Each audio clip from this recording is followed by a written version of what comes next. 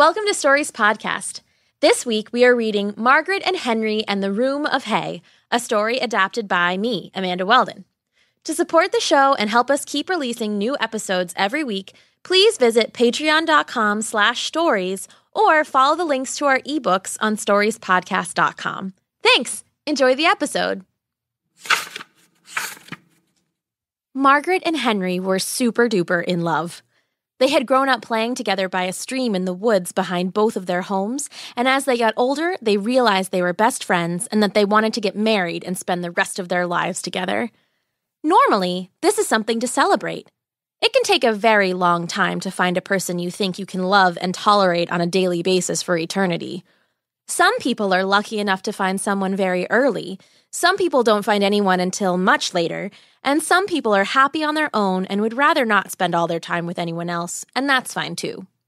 But one thing's for sure when two people tell each other that they're in love and would like to team up and spend the rest of their lives together, this is good news and there should be a party.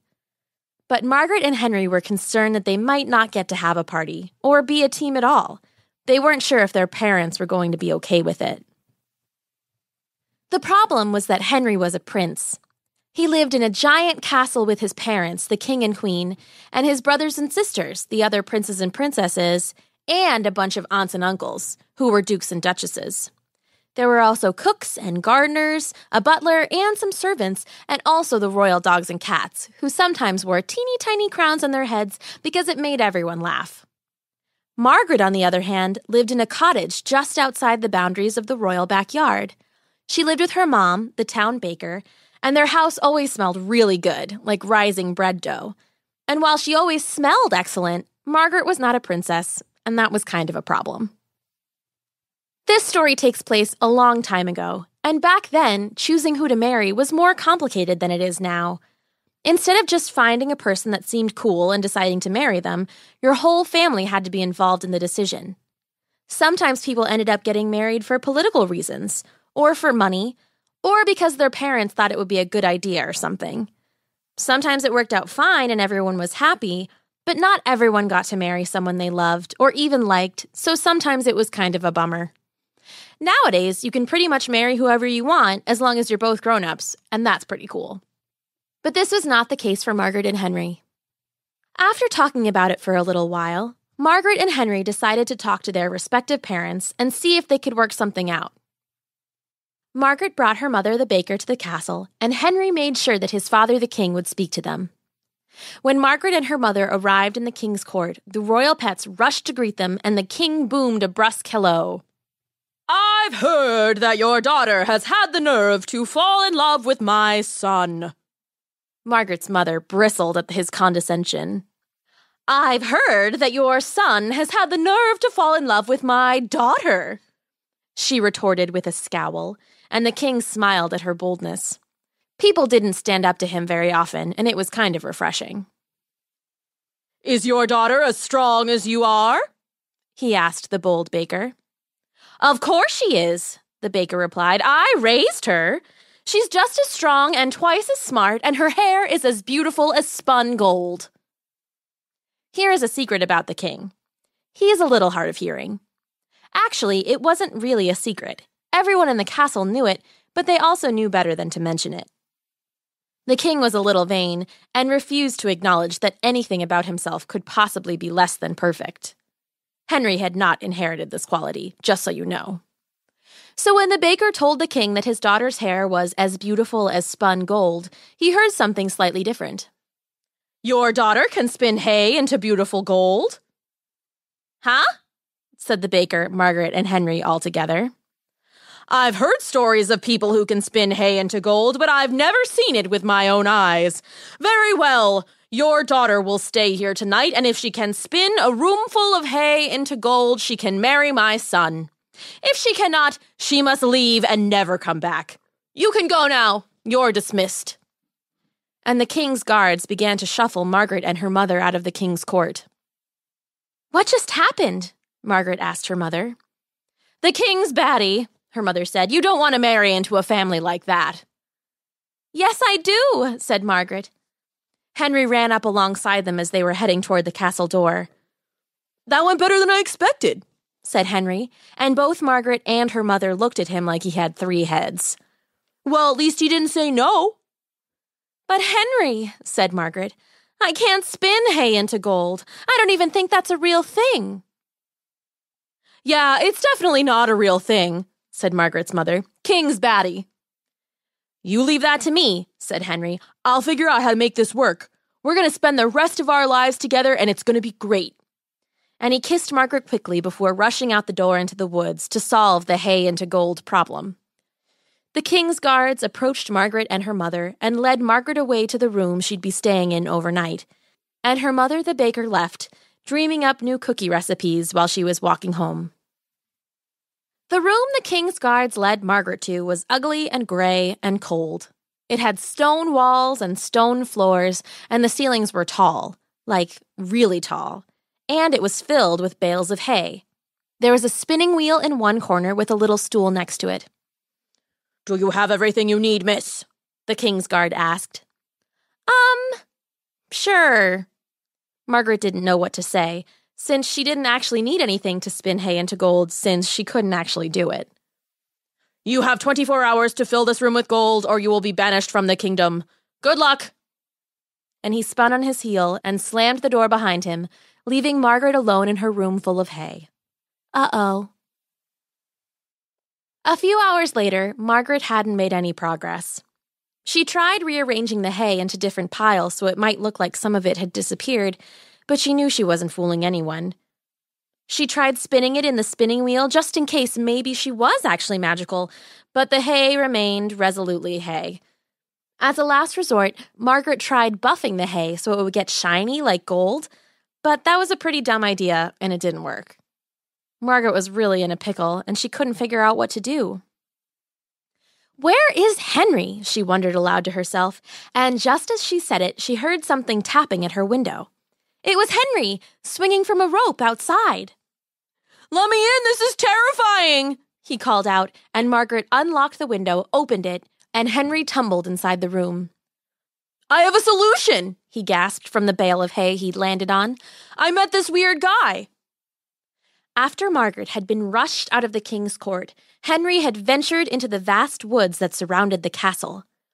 Everyone knew the woods were home to all sorts of strange and magical creatures, so Henry was hopeful that he would find someone who could help him there. He met a very nice witch named Griselda who was selling a bunch of really cool potions, but she didn't have anything that would turn hay into gold. He met some elves that taught him some songs that were apparently good luck spells, but Henry wasn't really sure he believed in that kind of thing, and besides, they would need more than good luck if they were going to pull this off. Still, one of the songs was very catchy, and he found himself singing it out loud as he continued to search through the woods.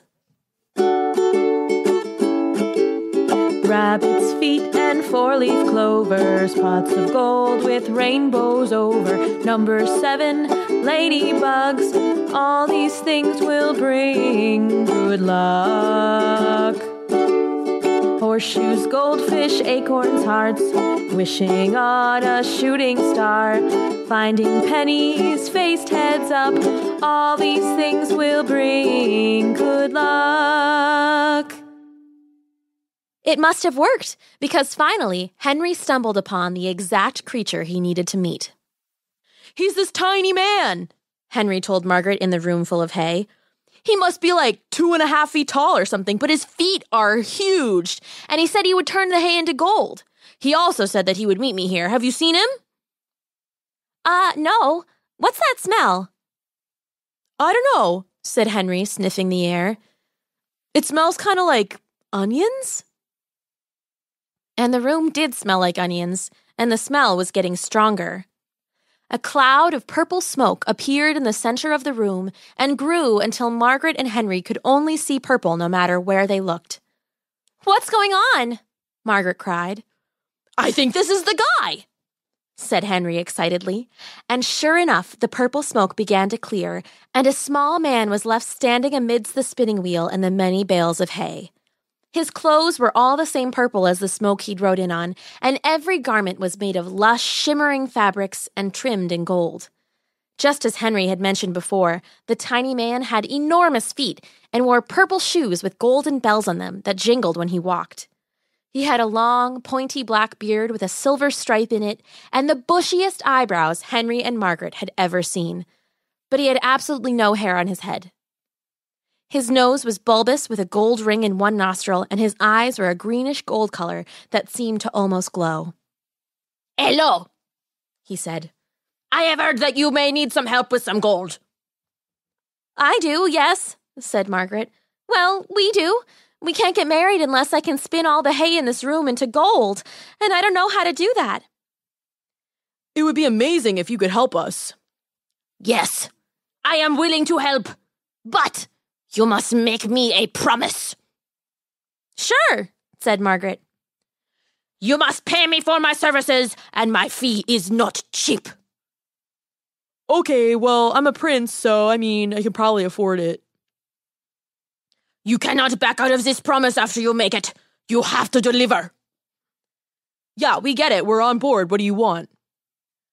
I want your first born child. Margaret and Henry looked at each other. That was kind of a weird thing for this guy to want. And Margaret and Henry hadn't even decided if they wanted to have kids yet. Do you think we should do it? Margaret whispered. That seems like maybe not the best deal in the world for us. Well, if we don't do it, we won't get to have any babies in the first place. True, but if we do have babies, won't we love them and want to keep them? Probably, but maybe we should just worry about that later. Okay. So Margaret and Henry agreed. They were pretty short sighted.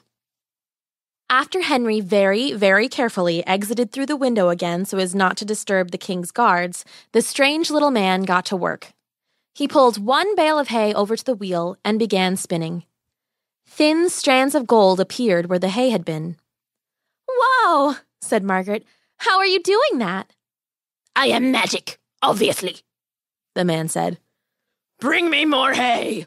So Margaret did. And then she brought some more, and the man just kept spinning and spinning. The only sounds in the room were the squeak of the wheel going round and round and strands of gold landing softly in a pile.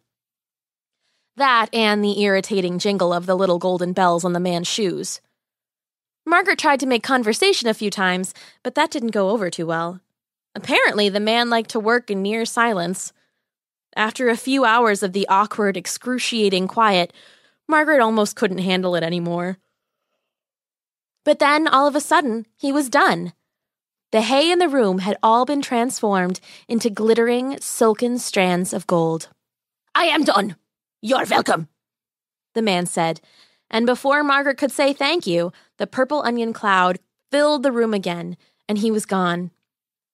Margaret peered out the window and saw the soft pink light of dawn in the sky as the sun rose, and she decided to try to get an hour or two of sleep before the king came to check on her. She nestled in amongst the gold, which was not as soft as it looked, and slipped off into a fitful slumber. After what felt like mere moments later, Margaret awoke from perhaps the worst sleep in her life to hear banging at her door. Ugh, come in, she called out groggily, and the king's guards flung the door open, and the king entered the room and surveyed the piles of gold all over the floor. Henry was there too, and when he saw that the odd little man had delivered on his promise, his whole face lit up in an enormous grin, and he gave Margaret two thumbs up. Margaret's mother, the baker, was also there, and when she saw the room full of gold, she immediately looked suspicious. She gave her daughter a look as if to say, How did you pull this off? But Margaret just smiled at her, and the baker decided that she would really rather not know. I am impressed, said the king. Okay, you can marry my son. And he turned to leave the room. Margaret and Henry were overjoyed. They ran into each other's arms and jumped and giggled and kissed and started imagining their future together and how happy they would be. The baker rolled her eyes because she still thought the king was batty and now she was going to have to be related to him, but she couldn't help but smile when she saw how happy her daughter was. Margaret and Henry were married in a huge, beautiful ceremony just a few months after the small, mysterious savior had spun the room full of gold for them. They lived together in the castle, and Margaret's mother came to visit often with delicious cakes and cookies for them. They spent their days volunteering in the village and spent their nights dancing and playing music and making art together. It was wonderful. They truly were living happily ever after. Except they totally forgot that they owed that weird little man a baby. They got pregnant just a few years after they got married. They named their adorable little boy Rufus because they both thought it was a funny name that would always make them smile when they said it out loud. They had a blissful year with Rufus and were beyond excited to celebrate his first birthday with their families and everyone in the kingdom. They planned a big, silly party with a puppy dog theme because Rufus loved puppy dogs, and the day that it arrived, it was sunny and bright and everything seemed perfect. Until that guy showed up. He appeared in his pungent purple cloud while Margaret and Henry were helping to clean up after the party. What's that smell? Margaret asked Henry as she piled up cake plates and gathered sticky spoons to bring to the kitchen to be washed. Doesn't it smell kind of familiar? Oh no, said Henry, and he and Margaret looked at each other as they remembered at the same time. Hello, said the man they now realized had come for their beloved Rufus. I believe you owe me something. But there must be something we can do, Margaret wailed to the man. She and Henry had been attempting to negotiate for hours to no avail. No, he said stubbornly, as he had all night. You promise me your baby? I want your baby. Why do you even want him? He's always sticky and he cries all the time. Henry hoped that by saying these kind of mean but still true things about his son, he'd convince this mysterious stranger to ask for something else instead. I can offer you gold or like some chickens or something, pretty much whatever you want that's not a human baby. I will take what has been promised to me, the man said stubbornly. Please, Margaret said, tears in her eyes. Give us a chance to earn him back. The little man looked at her shrewdly, eyes narrowed. Fine, he said. If you can guess my first name, I won't take your son. You get three nights to guess, but I guarantee you'll never get it.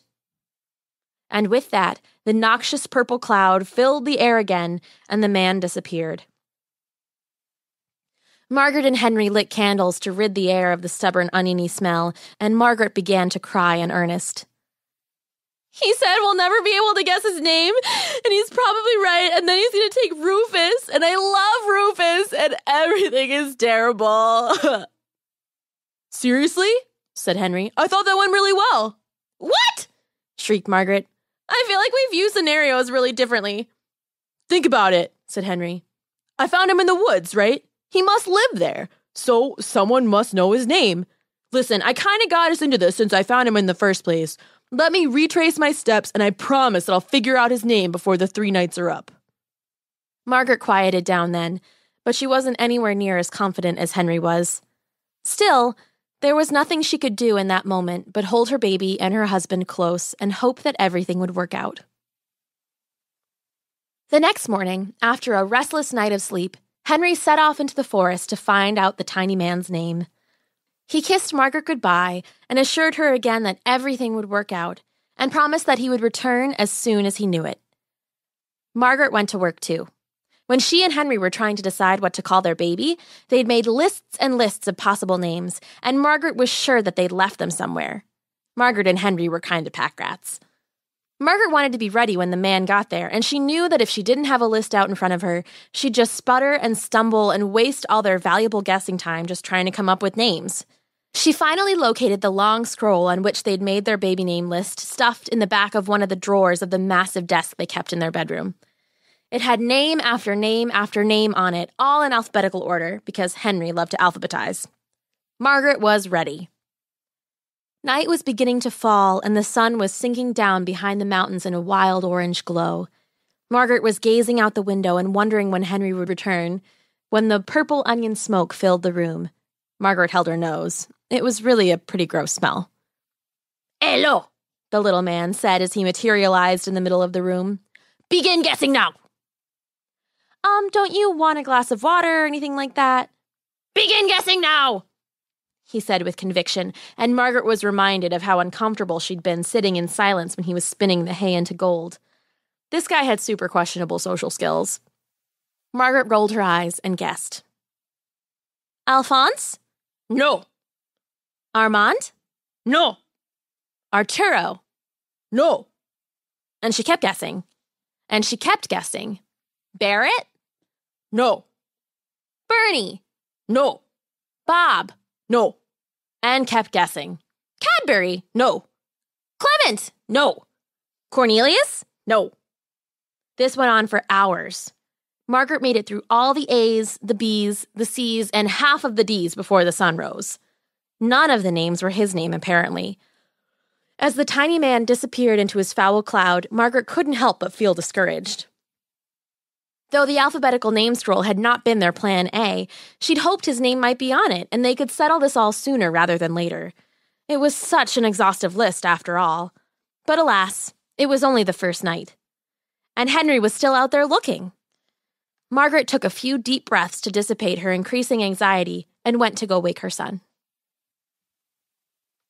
So far, Henry had not had much luck. He'd bumped into the witch Griselda he'd met the last time he'd been there, and they had a nice time catching up. Unfortunately, though, when Henry described the little man with the ring in his nose and the big feet who traveled by way of Onion Cloud, Griselda was unable to help him. So Henry went on his way. He asked every person who crossed his path, Excuse me, have you met a very small man who wears only purple and smells like onions and can spin hay into gold? But so far, he wasn't having any luck. As he walked through the woods he had walked through a few years before, he remembered the song that he'd learned and sung on his last trip. Before long, it was stuck in his head again, and he started singing it aloud. Rabbit's feet and four leaf clovers, pots of gold with rainbows over. Number seven, ladybugs, all these things will bring good luck.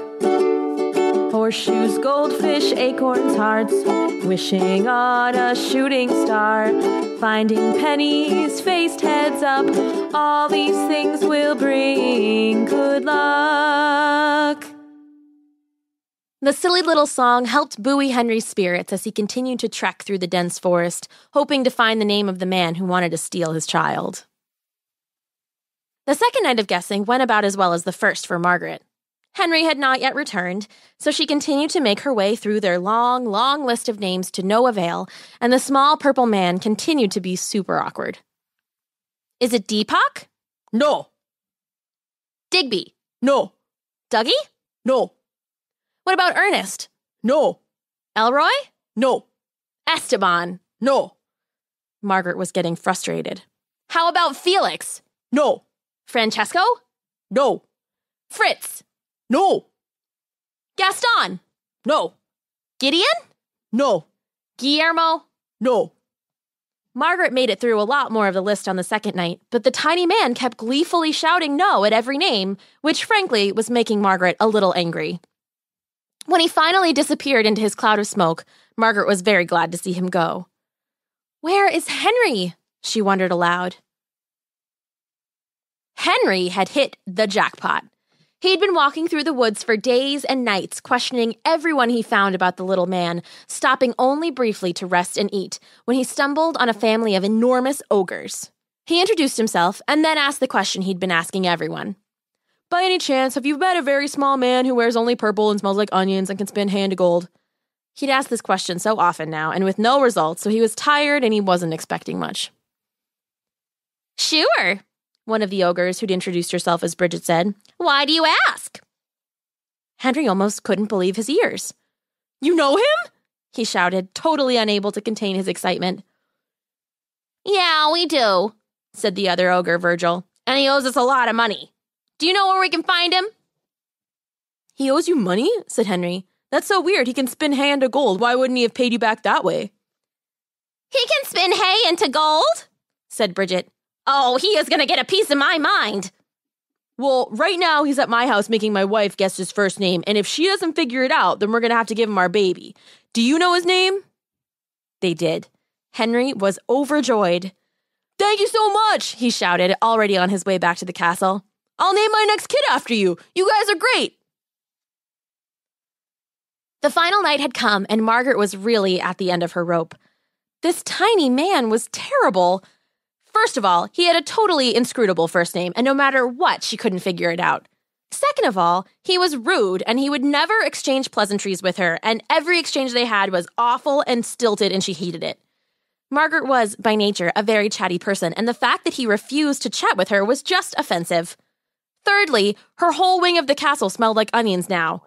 But none of that was as awful as the fact that this person wanted to steal her baby, who was easily her favorite alive being in the world. She was angry with him and his smug face and practically shouting names at him now. Jedediah! No. Karl? No. Leonardo? No. Ah! She shouted in frustration. I'm never gonna get it. Montgomery? No. Nathan? No. Ollie? No. Time was passing, and there were fewer and fewer names on the list. Where was Henry? Margaret's panic was growing more and more intense, and her whole body felt alive with fear and nerves. Tears stung her eyes, and she could feel her heart pounding in her chest. Pablo? No. Quentin? No. Remington? No. She could hear a knock at the window, and her husband was there, dangling on a rope, just like he had been when she was waiting for him in a room full of hay all those years ago. He had a huge grin on his face, even though he also looked terrified, and she felt a weight lift off her shoulders. She ran to the window and flung it open, pulling her husband inside. I know it, he cried. It's. No, she said. Let me say it. I've been guessing for so long. Henry rolled his eyes and whispered it in her ear. Margaret turned on her heels, her eyes narrowed and spiteful. She pointed her finger at the tiny purple man with the ring in his nose and the enormous feet with the bells on them, and she shouted, Rumpelstiltskin! The man gasped. His eyes widened in shock. How did you know? He screamed in anger, and then he began stomping his feet hard. He stomped and stomped and stomped so hard that he made a giant hole in the floor beneath him and fell through, leaving a purple onion cloud in his wake. Margaret and Henry were overjoyed. They hugged each other and kissed and ran to the other room and woke up sleeping Rufus, and they hugged and kissed him too. They were going to be able to be a family forever, and everything was okay. They were all exhausted.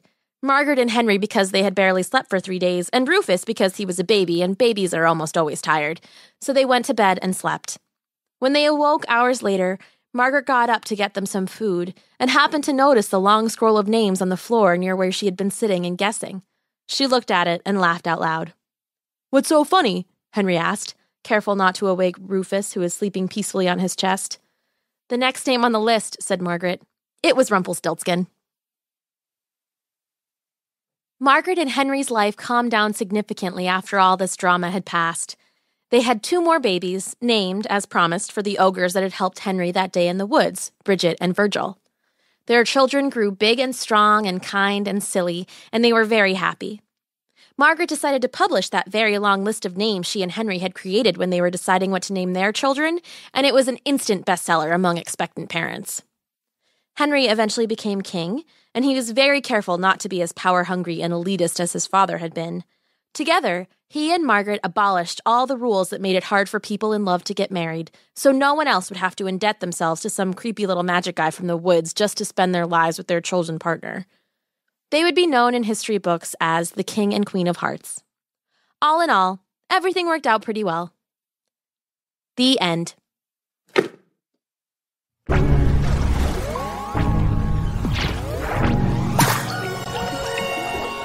Thanks for listening.